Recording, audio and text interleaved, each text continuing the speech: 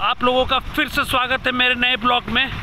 तो आप लोगों का स्वागत है हमारे झारखंड में आई लव हजारी पार्क। देख सकते हैं। ये हम लोग हजारी बाग में हैं।